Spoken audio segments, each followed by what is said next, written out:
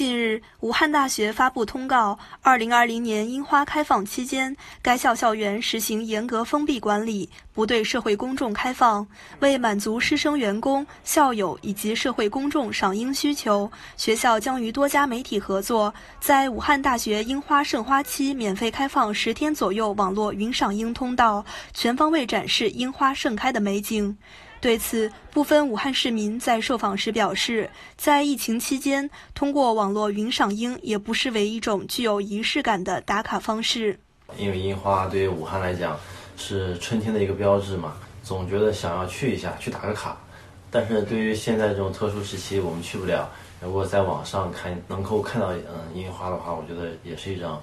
很好的打卡方式。我希望有更好的技术，能够让我看到武大樱花的全貌，然后更高清的看到那里的樱花到底有多壮观。我也和我的朋友们约好了，到时候一起守在屏幕前云赏樱。嗯，我相信这也是一种仪式感吧，能让我们宅在家里的嗯人们可以感受到春天来了这样的一种仪式感。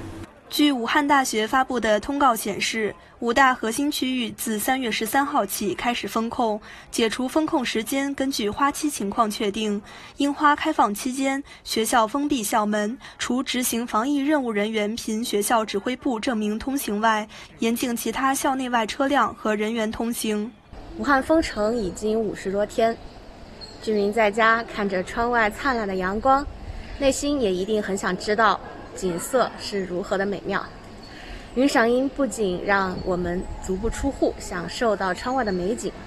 并且也激励着大家再多坚持一会儿，胜利的曙光就会来到。